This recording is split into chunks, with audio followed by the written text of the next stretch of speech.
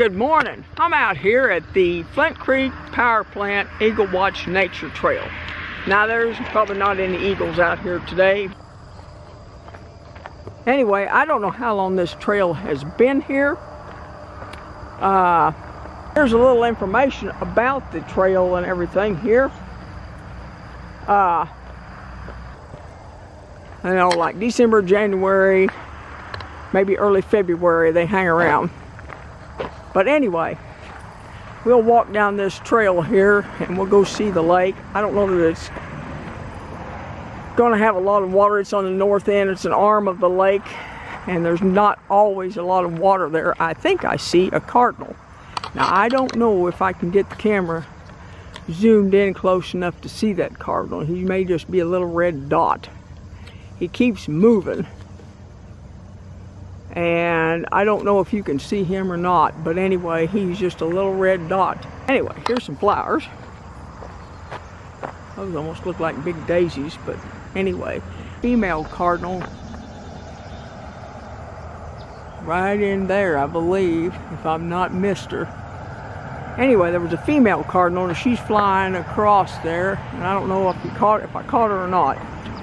There's a couple of robins right there they're not running off, which is surprising. I figured they'd fly off, as I'm not far from them. They're heading back toward the grass. They're like, I don't know about you. Uh, SWEPCO uh, has a power plant over there, and you can see that stack. Anyway, this sign here talks about the gentleman that was instrumental in getting this uh, Eagle Watch Trail put in and everything years ago.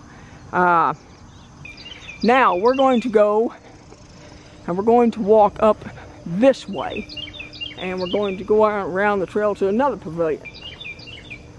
It's uh, the original pavilion, that was the first one. This one here and then that one over there were the next ones because this one over here we're going to was the pavilion. There was a little, and kind of circled around. the view of the lake from beside the pavilion, which is right here. Get back away from it just a little bit. This is the old original pavilion, okay?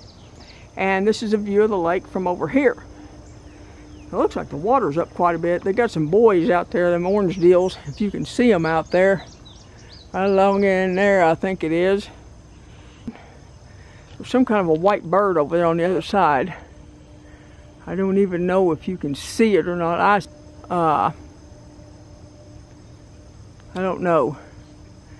And when I zoom in, I don't see him, but now that don't mean nothing. Uh, anyway.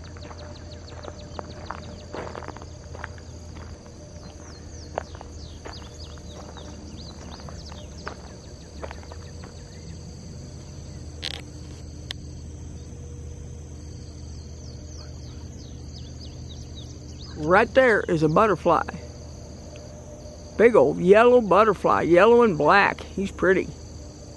And there's another little bug right there beside him.